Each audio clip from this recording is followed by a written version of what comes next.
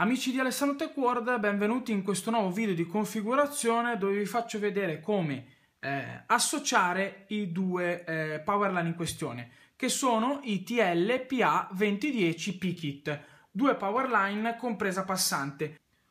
Per associarli dobbiamo eh, fare il pairing, quindi sotto abbiamo un tastino denominato pair, dobbiamo schiacciarlo per un secondino e mezzo e attendere che questa spia del power lampeggi. Vedete questa spia del power lampeggi. Ok, non dobbiamo tenerlo premuto, perché se lo teniamo premuto il prodotto si resetterà. Dobbiamo schiacciarlo una sola volta, però non fare un click, perché sennò potrebbe capitare che questo non lampeggia, quindi dobbiamo schiacciare il per un secondino e mezzo e lasciarlo. Vedete che il, il, blu, cioè il LED del power sta iniziando a lampeggiare, vedete?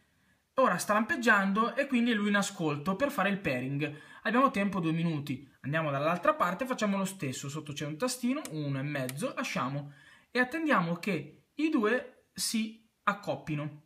Attendiamo quindi circa un minutino e mezzo. Ecco ragazzi, avete visto adesso i prodotti sono associati. Come potete vedere il LED centrale è acceso e quindi la comunicazione tra due power line sta avvenendo. Come? Tramite onde convogliate sull'impianto elettrico di casa. Quindi da una parte metterete il cavetto Ethernet che va al modem router e quest'altro power line lo potete portare in tutte le zone della casa dove vi necessita di avere una connettività. E qui potete per esempio attaccarci una, una lampadina davanti qui e quindi non perdere l'utilizzo della vostra, eh, della vostra presa.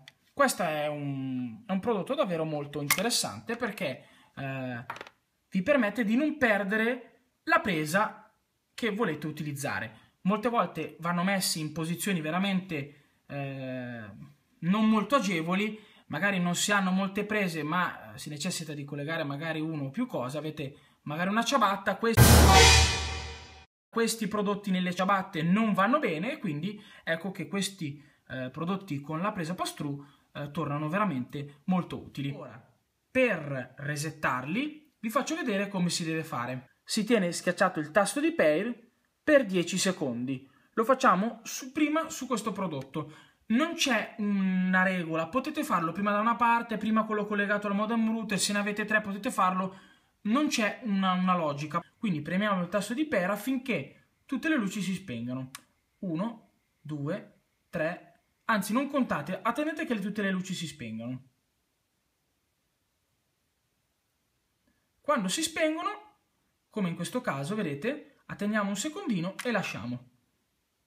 Il prodotto si sta resettando. Andiamo dall'altra parte e facciamo lo stesso, quindi resettiamo anche l'altro power line.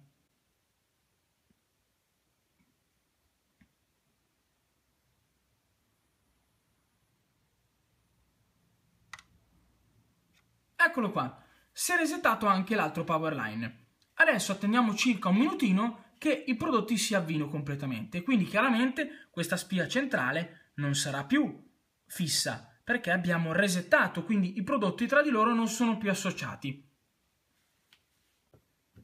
Eccoci qua ragazzi alle conclusioni finali di questi fantastici power line di casa TP-Link.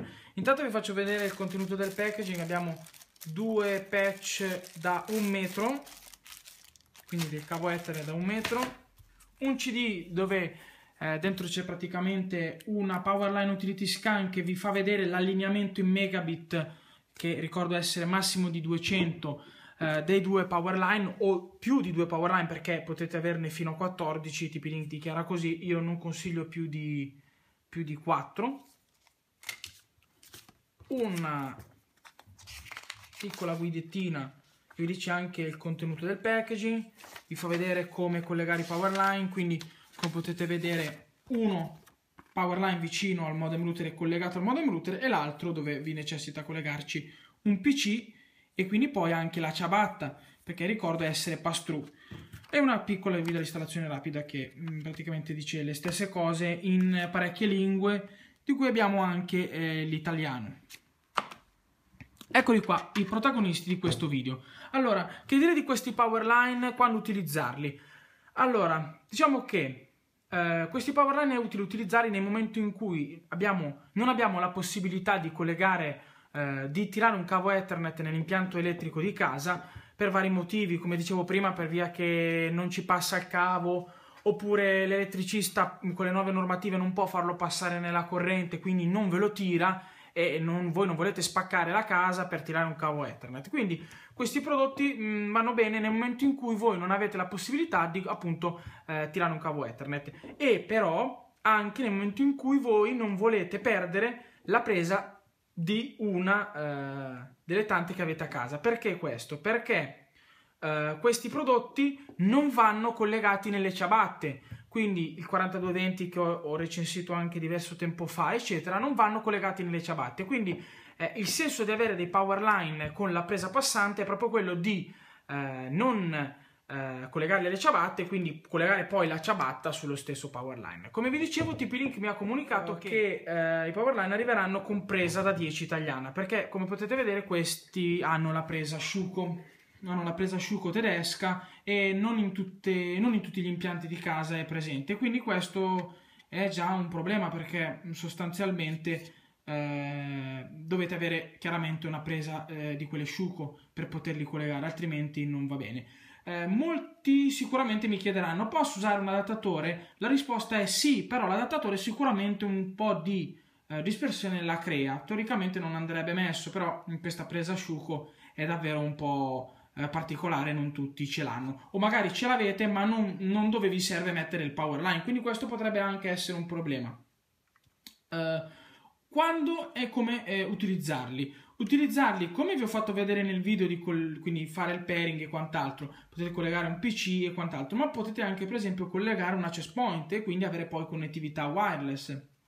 Oppure potete mettere un router e quindi poi scusate avere anche la possibilità di collegarci per esempio un computer via cavo e utilizzare questa porta per collegare poi il router che vi dà anche la connettività, la connettività wireless. Questo è il tastino di per che vi dicevo, eh, forse lo metto nel video, qualche immagine che ve lo fa vedere, che serve appunto per resettarlo e sociarlo, un tastino multifunzione eh, fin quando tutte le luci non si spengono per eh, resettarlo, un secondino per eh, associarli eh, e per fare, per fare, quindi il pairing dei prodotti. I prodotti funzionano, funzionano bene, si allineano circa un 80-70 megabit. Eh, gli speed test si fanno in megabit quindi ormai una 20 megabit tranquillamente viene retta il problema sorge mm, quando magari avete delle linee più performanti come una fibra a 100 megabit, allora chiaramente lì eh, non potete sfruttare sicuramente il, eh, a pieno questi, questi, eh, questi, no, più che altro non potete sfruttare a pieno la vostra linea perché chiaramente eh, non allineeranno mai eh, a 100 megabit.